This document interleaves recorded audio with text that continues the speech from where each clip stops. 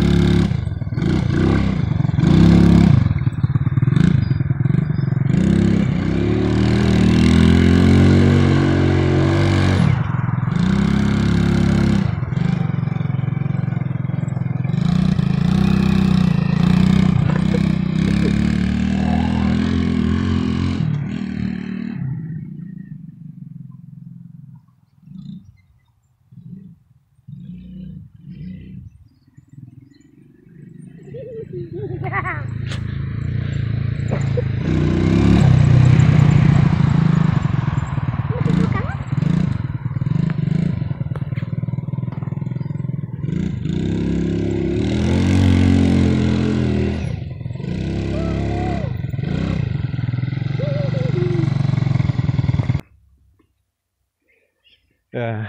i tak, także widzicie, że zabawa jest fajna. Jak na 110 to nawet daje radę. Za tysiaka to bym to kupił. O, to wszystko wygląda. Okej, także dzięki za uwagę. Pozdrawiam.